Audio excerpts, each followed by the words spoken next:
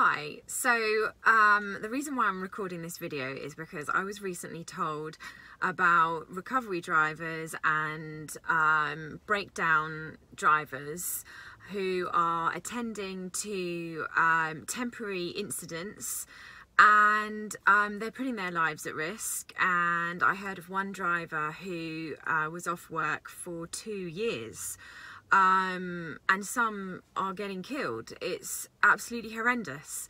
Um, so there is a campaign called Slow Down, Move Over.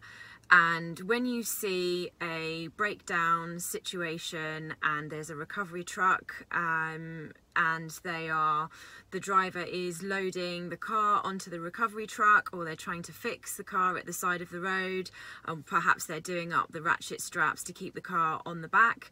Um, when you see that, um, you haven't had loads of pre-warning like you do with roadworks um, so you have to react quickly um, and move over give them some space. So it's called slow down and move over.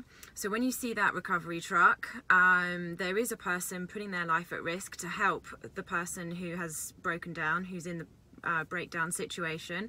So um, check your mirrors, indicate, move over, give them plenty of room. The motorway is a really dangerous place to be. Um, so yeah, I hope that this video helps to increase the awareness and if you can share this video and uh, tell as many people as possible to slow down and move over.